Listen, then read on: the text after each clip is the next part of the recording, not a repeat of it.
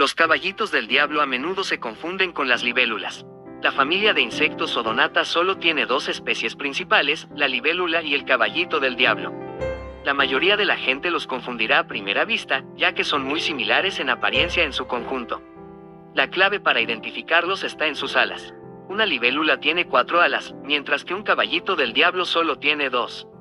Cuando una libélula descansa, extiende sus alas horizontalmente, mientras que los caballitos del diablo las doblan contra sus cuerpos. Otro indicador son sus ojos. Los ojos de todos los caballitos del diablo están separados, mientras que los ojos de la mayoría de las libélulas están juntos.